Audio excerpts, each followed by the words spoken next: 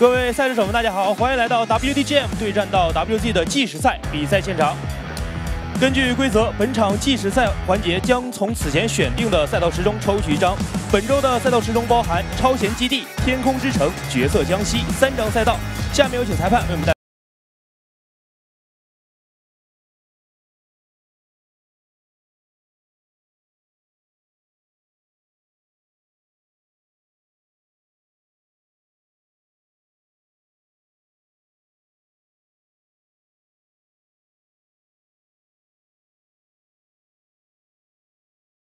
本场计时赛环节抽到的赛道是天空之城。本场计时赛的获胜者将获得二 v 二个人竞速与一 v 一个人竞速首图的选择权。下面让我把时间交给解说席。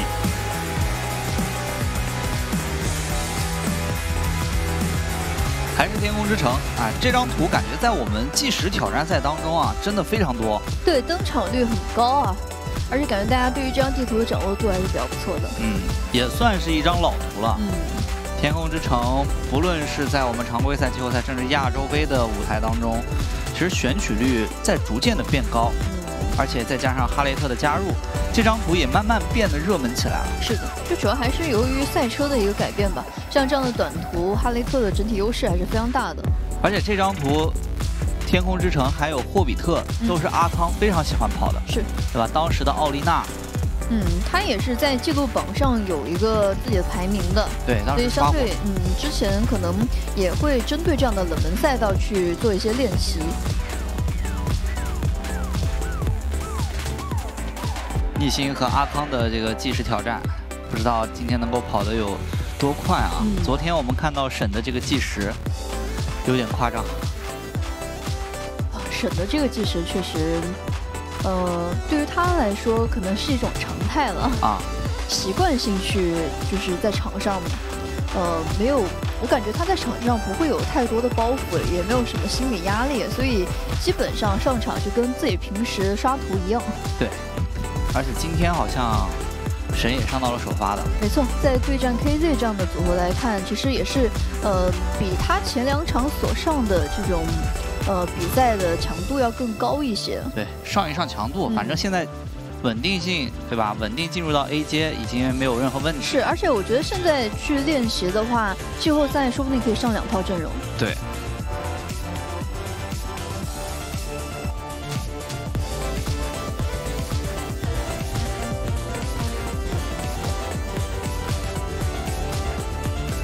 来了，首先来看一下天空之城的第一次计时赛挑战。这个 ECU 两个人开的都很快。第二个弯道零点一，但是这个出弯阿康明显慢了一些。看这个弹射，呃，整体路线来看的话，逆行会这边会更好一些。再来一个侧又是一个快出脱飘啊！你看似逆星刚才的那个弯道过得也会稍慢一些啊，但是阿康的这个失误更加致命一些。是的，但是这段路怎么突然之间阿康就追上来了？对，逆星刚甩完之后是上墙了，所以是多科蹦失速了一下，所以两个人的距离线是持平的。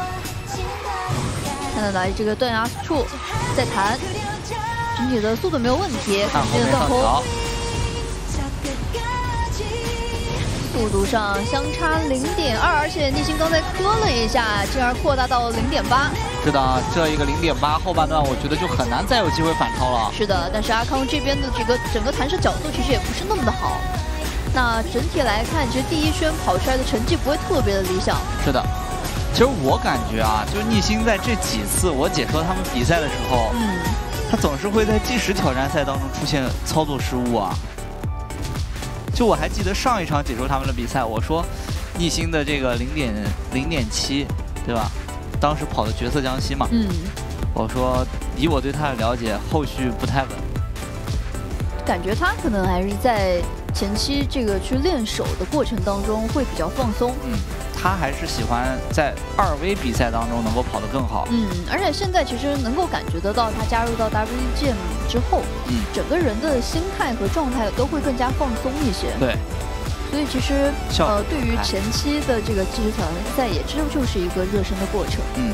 不会说太过于紧张或者绷紧的一个状态。对的。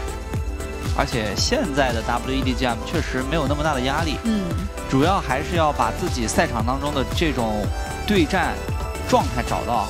是的，看下两个人在第一次跑出来的成绩，最快的话是一分零六秒七零，那整体来说其实是不够用的，这张地图至少是要跑一个零五才够啊。嗯，而且零五小，我觉得才比较稍微稳一点。是的，跑零四的话，那得是你全程没有什么太多失误才行。看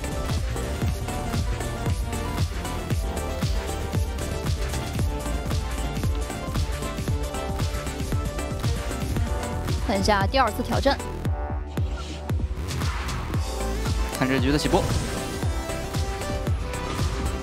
起步出来超 E 一开，两个人没有太大的差别，零点一秒，不断的交替过来，前期的弹射都不会有太多的失误啊。但是阿康突然上墙了，小蹭一下，对于这个速度提速也会有比较大的影响。是的。零点五、零点四的差距，哎呦，这边又是他甩了一个 WC 大 W 啊，但是自己的车头方向很难去调整回来，没有控好车，车头也拉不过来了。看到这个断崖处弹射过来，已经要一秒了。嗯，逆行这边并没有给到任何的失误。来看一下后半段，这边断空过来以后的路线调整也还是比较不错的。大气卡满，后半段。